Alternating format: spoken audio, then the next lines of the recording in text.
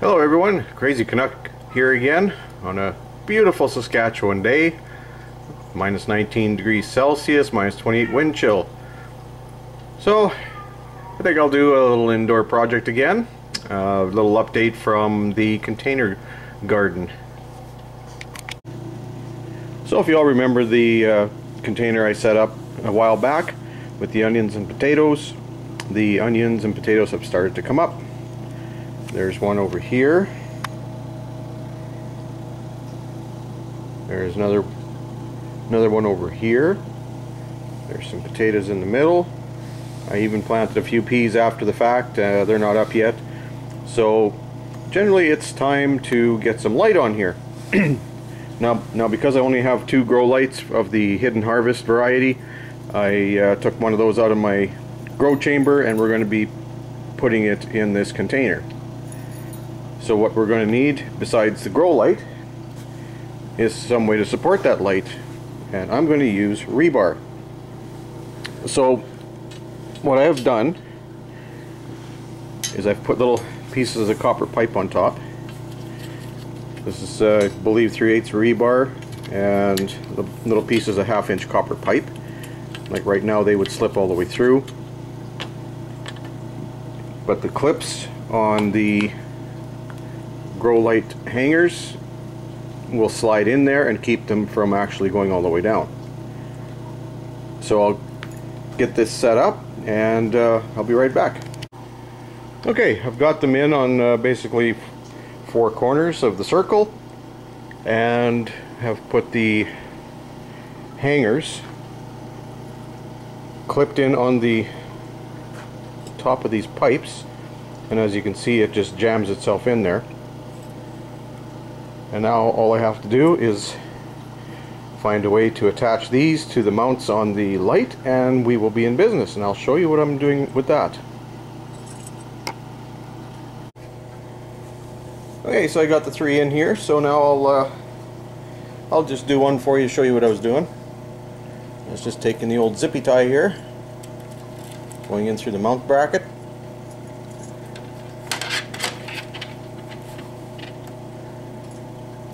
times like this you almost need three hands.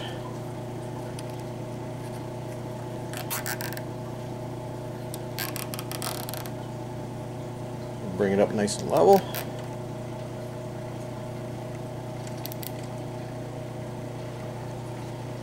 And then just to tidy things up a bit, just trim them all back.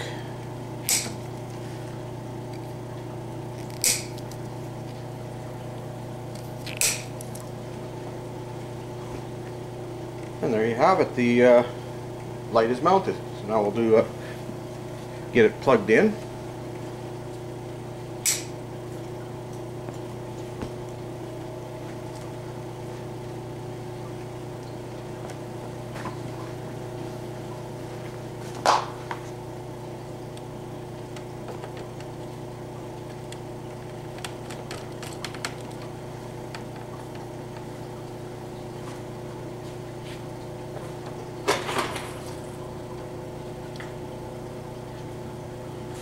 And of course I'm three inches away from the outlet. I'll just move this in place and uh, I'll get right back to you. Okay, I've got it in place.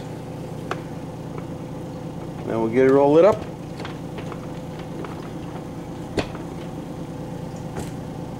And there you have it. You've got some light on the plants, which will make it a lot easier to see them once they start growing. And of course this is the Hidden Harvest uh, grow light and I've noticed uh, once I got this set up it's not exactly stable so I am going to do a little modification here and I'll be right back and show you what I got planned. Oh yeah, here's what I came up with. Just going to level these up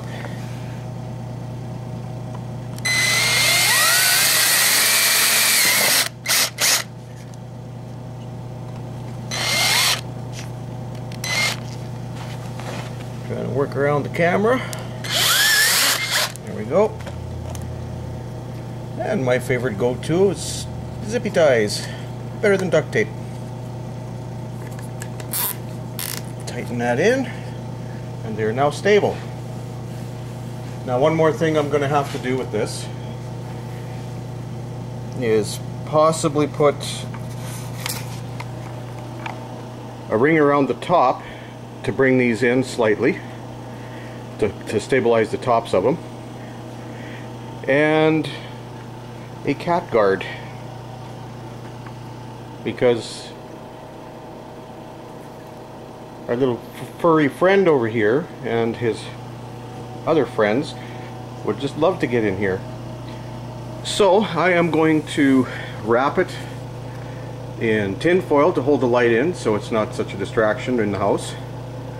And uh, I might have to put chicken wire around it as well to keep the cats out. But we'll play it by ear, see what happens.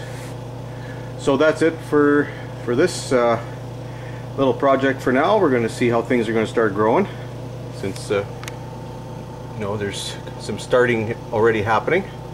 I even have some grain coming up. So we'll see if I let that happen or feed it to the chickens or whatever's going to happen here. And uh, that's it for this. Uh, doesn't matter what size container you use. Uh, now that I've done this, uh, with the grow light I could have gone to a, a 45 gallon drum, plastic drum, cut the bottom off. It's two feet across. Uh, it probably would have been better, a little more awkward to put in the house, but this uh, will do. It'll get the point across, and uh, that'll be it for this update for now. And uh, as usual, subscribe if you haven't, like if you like. Thank you to all the new subscribers for uh, showing an interest in this channel and I hope I can keep giving you good information. We'll talk to you soon.